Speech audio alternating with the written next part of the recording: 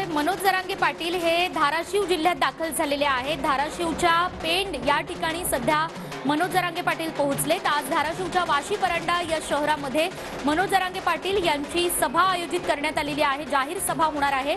आणि तत्पूर्वी बीडच्या पेंडगावमध्ये जरांगेंचं असं जंगी स्वागत केलं जात आहे मोठ्या प्रमाणात फुलांची उधळण केली जाते. मनोज जरांगे पाटील यांच्यावर सुरुवातीला बीडमध्ये हे जंगी असं स्वागत आपण पाहतोय. बीड नंतर ज्यावेळी धाराशिवमध्ये मनोज जरांगे पाटील पोहोचतील. त्या ठिकाणी सुद्धा शंभर जेसीबींच्या माध्यमातून मनोज जरांगे पाटील यांच्यावर फुलांची उधळण केली जाणार आहे. आणि मोठ्या संख्येनं मराठा समाज बांधव या ठिकाणी मनोज जरांगेंच्या स्वागतासाठी दाखल झालेला आहे.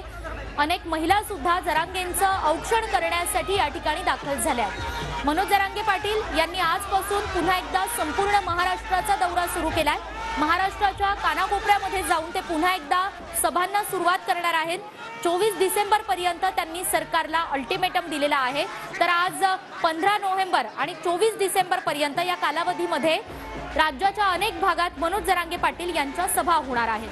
सध्या बीडच्या पेंडगावमध्ये जरांगे हे दाखल झालेत. त्यानंतर ते धाराशिवच्या दिशेने रवाना होतील. आज धाराशिवच्या वाशी परांडा शहरामध्ये त्यांची सभा आयोजित करण्यात आली आहे. जय्यत अशी सभा असणार आहे.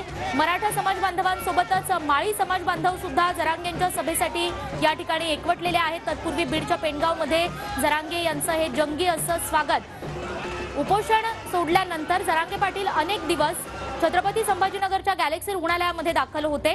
प्रकृती ठीक झाल्यानंतर त्यांनी पुन्हा एकदा महाराष्ट्र दौऱ्याला सुरुवात केलेली आहे.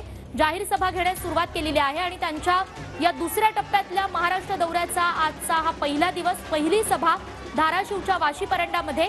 मात्र जा धाराशिवला जाताना वाटेत बीडच्या पेंडगावमध्ये ते दाखल झालेत आणि या ठिकाणी मोठ्या संख्येनं मराठा समाज बांधवांकडून जरांगेंचं असं भव्य दिव्य स्वागत केलं जात आहे.